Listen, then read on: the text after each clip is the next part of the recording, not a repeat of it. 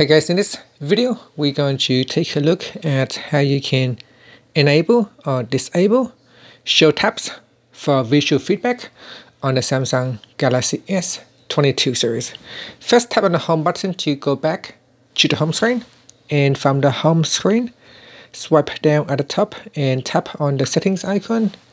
In settings, you want to swipe up and go down.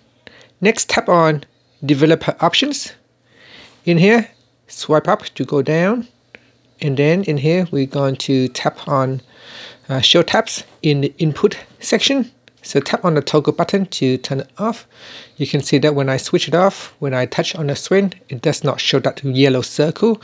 And if I switch it on, whenever I touch on the screen, there is a circle uh, following my finger to show my interaction with the screen.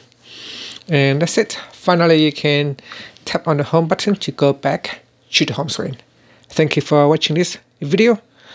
Please subscribe to my channel for my videos.